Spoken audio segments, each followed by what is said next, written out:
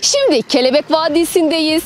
Avrupa'nın en büyük ülkemizin de ilk kelebek bahçesini gezeceğiz.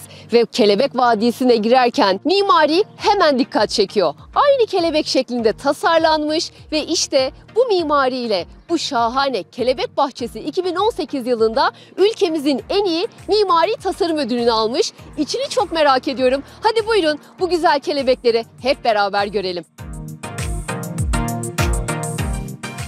Tamamen camla inşa edilen Kelebek Vadisi'nin içindeyiz. Şu anda ülkemizin ilk kelebek bahçesine girmiş bulunuyoruz ve girer girmez de şahane kelebekler karşıladı bizi. Her yerimizde kelebek uçuyor. Burada 45 türden fazla 10 bin adet belki daha da fazla kelebek yaşam sürüyor.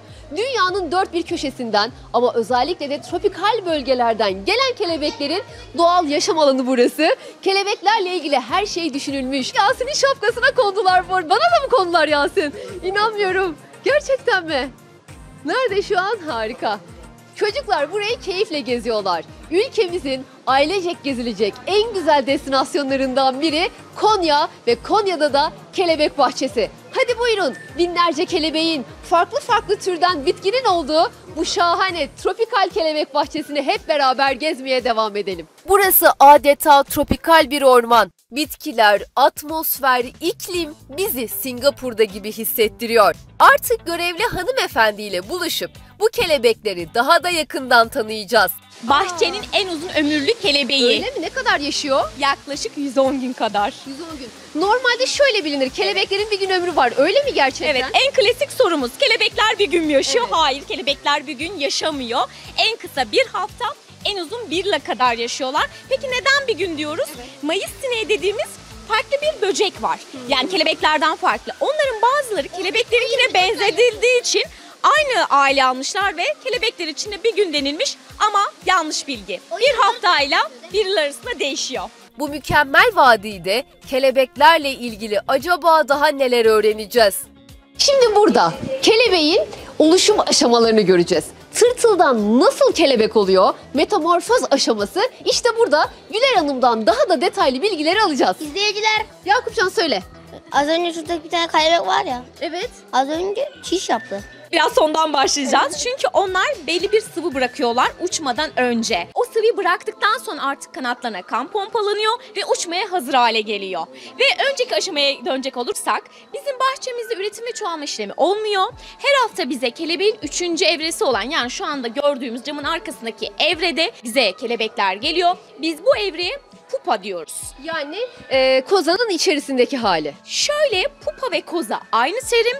Pupanın içerisinden gündüz kelebekleri çıkıyor. Kozanın içerisinden de gece kelebekleri olan güveler çıkıyor. Yani kelebekler gündüz uçanlar ve gece uçanlar olarak ikiye ayrılıyor. Evet. Gece uçanlarda e, güveler. Güveler. Aynen. Şimdi arkamıza baktığımızda da bakın kelebeğin o şu aşağıdaki dev kelebeğin oluşum aşamasını görüyoruz.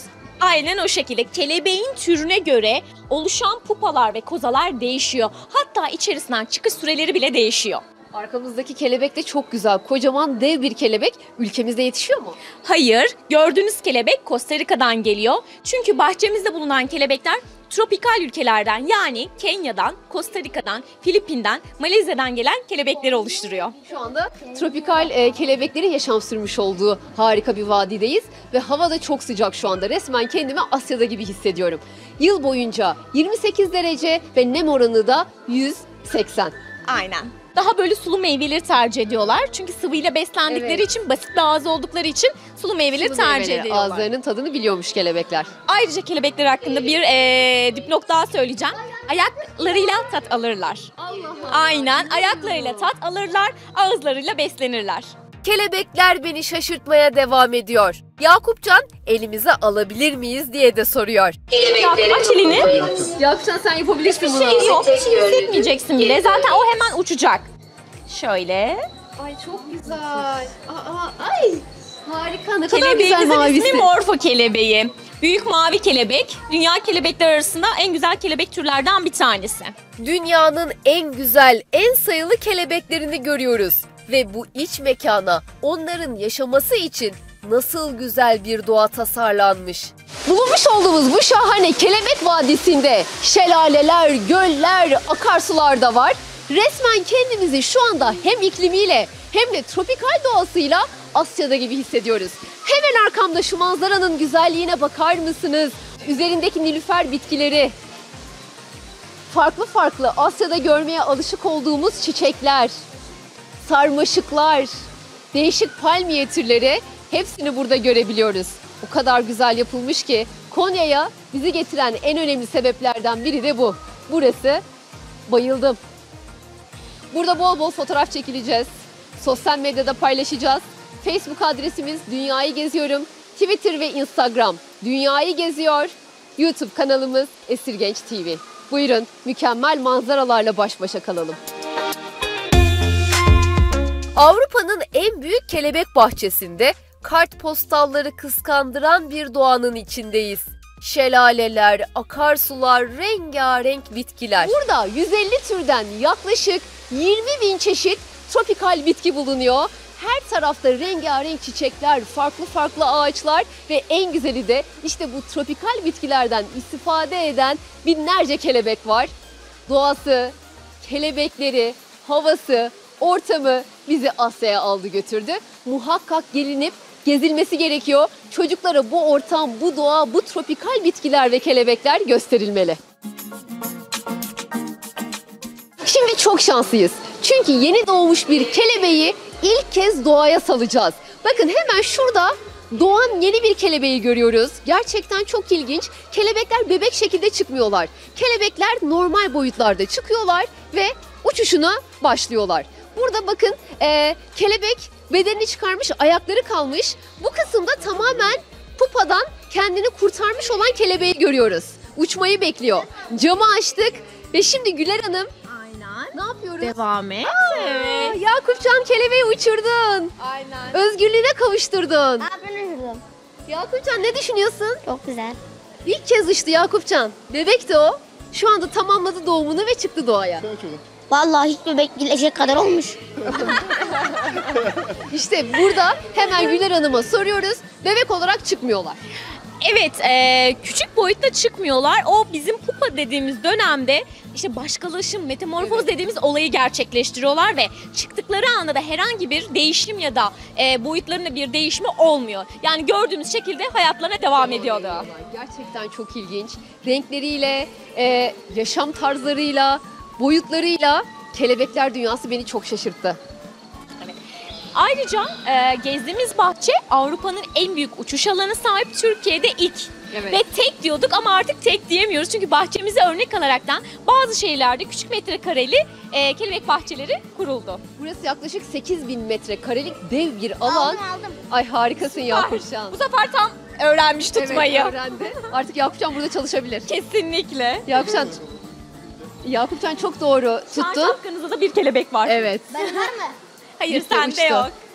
Ee, 8000 metrekarelik dev bir alana yayılmış e, harika bir vadi. Kelebek Vadisi ve camdan yapılmış. Diyeceksiniz ki niye camdan?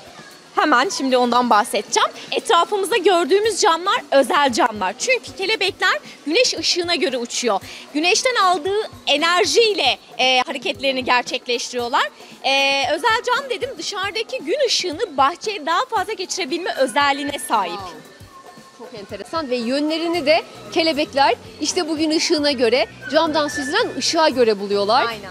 Doğa çok ilginç. Ne gizemler saklı. Gerçekten burada gezdikçe ve bir rehberden bilgi aldıkça doğanın ne kadar güzel olduğunu, ne kadar güzel yaratıldığını tekrar anlıyoruz. Her tarafta bakın burada o kadar güzel oluşturulmuş ki tepeler görüyoruz, taşlar görüyoruz, kayalar görüyoruz, üzerinden fışkırmış bitkiler görüyoruz. Bunların hepsi özel tasarlanmış. Yakupcan, nasıl bu kadar kelebeği bir arada görmüş müydün? Hayır. Aa görmüştüm. Nerede? Burada. Baba kafana kondu. Evet kafanda Yakupcan Yasin. Çok güzel ya. Kelebeklerle burada yakından böyle içli dışlı olabiliyorsunuz. Saçınıza, kafanıza her yere konuyorlar. Aynen bazen ziyaretçilerimiz girmeden önce ya girdikten sonra bir şok oluyorlar. Çünkü camın arkasında kelebekleri göreceklerini zannediyorlar. Evet. Ve onun yani ziyaretçileri dokunarak e, gezilerini tamamladıktan sonra daha bence etkili oluyor. Kesinlikle öyle. Ben mesela kelebekten korkuyordum. Bu- Şu an buraya girdim korkum kalmadı. Kesinlikle birçok ziyaretçilerimiz zaten bu şekilde e, fobilerini de yok ediyorlar burada. Çok güzel bir şey ya gerçekten. Şimdi bakın mağaranın içinden geçiyoruz. Şu an gizlenmiş kelebekler olabilir. Çünkü e, özellikle morfo ve baykuşlar böyle karanlık ve serin bölgeleri dinlenme amaçlı kullanıyorlar. Evet baykuş dediğimizde gerçekten baykuş kuşu değil. Kelebek türü baykuş. Belli noktalarda dinlenen kelebekler olabilir. Gerçekten şaşırmamak elde değil. Oh burada serinlediğimizi hissediyoruz. Evet aynen. E, tabii bu e, mağaranın içleri serin çünkü serinleme ihtiyacı duyan kelebekler var. Dışarıda özel bir nem sistemiyle kelebeklerin nemli ortamları muhafaza ediliyor. Buna çok önem veriliyor çünkü kelebekler eğer %80 nem oranı olmazsa yaşayamıyorlar.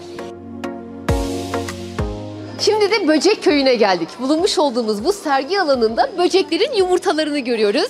Ve yumurtaların içine girdiğimiz zaman da böceklerin kendisiyle tanışıyoruz. Yakup Şen çoktan bu yumurtaların içine girdi, Gezmeye başladık. gezmeye başladı. En ilginç yumurtalarımızdan bir tanesi peygamber devesi böceği. Evet. Çiftleştikten sonra eee, dişi birey erkek bireyi yiyor. Aa, ama bir amacı var. Yavrusunu beslemek için. İnanmıyorum. Dişi Evet. erkeği mi yiyor? Evet çiftleştikten sonra. Çok ilginç. Daha önce duymadığım bir bilgi. 2015 yılında faaliyete açılan dünyanın sayılı kelebek bahçelerinden olan bu vadide sosyal aktiviteler de çok fazla.